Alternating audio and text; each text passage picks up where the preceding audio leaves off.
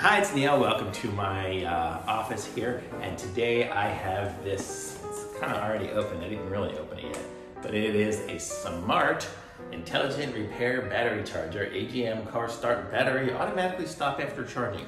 So this one here, it's a battery charger. So if you have, if you run out of batteries in your car, you get a flat or something like that, not a flat, if you get a dead battery, leave your lights on overnight or something like that, this here should help you get your car started. So this should get surprisingly light. So first of all, I'm not so sure it's gonna have enough power to really get much going, but it's super light.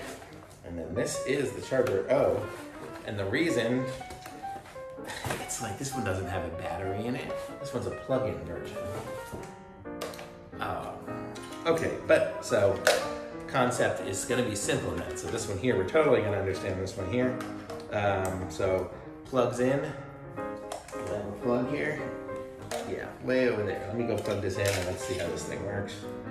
It's funny that I thought it was gonna be a battery one. And I was wondering, why was it so light?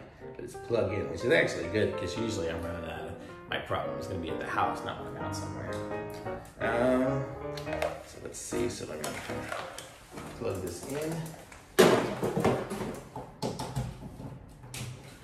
And can you see it from there? Oh, I lost part of one thing, but there. So there it says it's got its charge and stuff. You push the current. So basically it's gonna do what it says it's gonna do. I don't need to really go through too much, but this is smart. Oh, it's even still keeps some of the light going for a little bit. Okay, but you can see it's got a current uh, on off switch, maintenance, and a little LCD display. Pretty, it looks pretty durable here. So you can just keep this in your car. If somebody needed it, you could work it, but you'd have to plug it in. So that's gonna be the thing. But a lot of cars nowadays have chargers, so you can actually plug it into somebody else's car and have it work. So um, that part's gonna probably be okay.